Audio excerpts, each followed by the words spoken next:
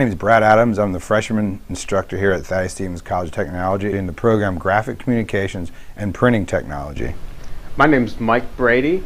I'm the second year instructor here, and we're going to tell you about uh, what it's like in the graphics program. As a first year student coming here to Thaddeus Stevens College, you're not expected to have a strong knowledge base in the field. We start at ground zero, zero if you will, starting with basic knowledge. Um, we push the Adobe environment, Adobe Photoshop, Adobe InDesign, Dreamweaver, Illustrator to develop our images. We start from scratch, from a thumbnail sketch, take it to desktop publishing, take it to press, and then finally finish it into bindery applications. We expect students to stay on task for four hours a day. We push a, a business-like environment. We try to replicate what's done commercially in this field to prepare you for your future career. The second year, we begin to ramp things up a little bit, and I expect a little bit more out of you as far as the workload and the quality of the content. We'll spend time diving into what graphic design actually is, the end goals of it. Um, we talk about how to craft a message and how to change that based on specific audiences. And we also look at the role printing plays in marketing. Uh, for example, creating direct mail advertisements, uh, variable data, and augmented reality. Beyond that, we expect students to interact with different types of printing, for screen printing, for example, or offset printing. Uh, so students need to know how to design that message based on how it will be output, either print or web. We expect students to further that, taking it into the bindery and turn that printed piece into something. So for example, we do a 20-page book where each student needs to design 20 pages, create a 16-page imposition, print that, fold it and bind it, and create their own piece based off that. During the time that you're here, you have four hours of lab a day. We usually start the program off the day off with 45 minutes of lecture time, explain the processes, how to take your product from start to finish. The remainder of the time really is a hands-on experience, practical application, replicating what's done in the field of graphic communications we cover everything here. It's graphic communications and printing technology. So you may be designing for some part of the day, but after that you're going to be getting your hands dirty and you're going to be working and running a press and cleaning a press and taking it apart. I'm coming back to the screen area and printing on frisbees, printing on pens, all sorts of different unique elements. Along with the problem solving it takes in bindery. How are we going to fold this paper? How are we going to bind these pages together to create a book? So there's really duality in this program, both the design and the production. A lot of students feel that they hear the word graphic arts. You truly do not have to have artistic ability to draw. Um, the images are developed by desktop publishing means. So there's not a true need to be an artist, if you will, to become successful in graphic communications.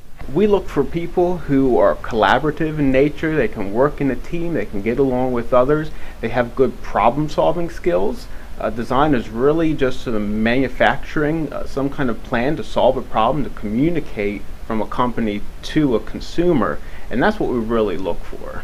So if you're somebody who's interested in creative thinking, who likes being faced with a challenge and deciphering a way to figure that out, then the graphics communication and printing technology at Thaddeus Stevens might be a good fit for you. Hi, my name is Peter Rodriguez. I'm a second year student at Thaddeus Stevens College of Technology. I'm currently studying graphic communications and printing technologies. Basically, I would definitely start off by asking the question to yourself, uh, you know, why, why, why do you want to do this major? Why do you think you would best suit the graphic communications field as well as the printing technologies field because there's a lot of things that go into this such as time management, being able to deliver, be ready for deadlines. You may want to come here to be specifically just a designer. Like me personally, I do love design, but I still also have to learn the printing side of things. It's not all just design. I think being on time and being proficient and being efficient, we come to class and there is always lectures, there is, um, you're constantly learning, you're just a sponge and it's one of those things that you can really take out everything from this place and, and this place has so many resources and, and there's so much knowledge and creativity coming out of here and you could either utilize it to its, you know, in its entirety or you can just completely throw it away. And I've, I've seen both aspects of that. I know me personally in high school, I had a lot of graphic design classes and I thought I knew what design was. it kind of really got me by in high school. And here was just a really humbling experience because I was surrounded by such creativity and other creative kids. And it showed me that I had to withdraw from, you know, just making things look pretty and really focus on being fundamentally good and delivering, giving clients what they want as opposed to just throwing stuff on a paper. Even within the printing world, it's just tons of problem solving when it comes to using the offset machine and the folder and all these things.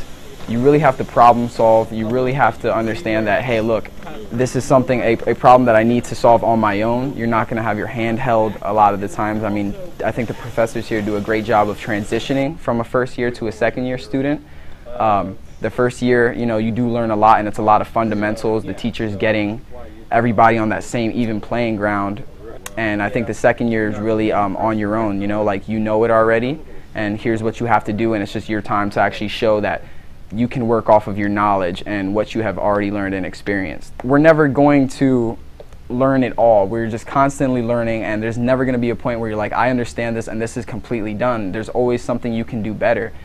If you come here with that mentality and the mindset of not just studying in a sense, you know, just reading over things to be ready for a quiz maybe or a test or whatever the project may be, but studying in a way that you can really understand it so that when you do go to take those quizzes and tests and do the projects, you can apply what you understand as opposed to something you just read.